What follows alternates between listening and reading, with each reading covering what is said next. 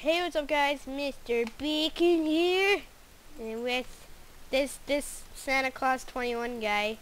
If you don't remember him, Mr. Bacon Buddy here.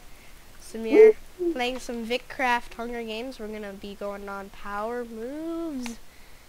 Come on. Make sure you check yes, out. got the Hey, field. say it, say it, say it. To the left, to the left. Woo!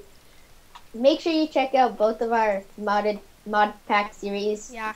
Mr. Bacon over here is doing Crazy Craft, and I'm doing Dream Craft. What do we got here? We're going to a football field every time. We're, What? We always It was at there, this moment that Nathan knew. same- What? He fucked up. What? What? What? How'd you die?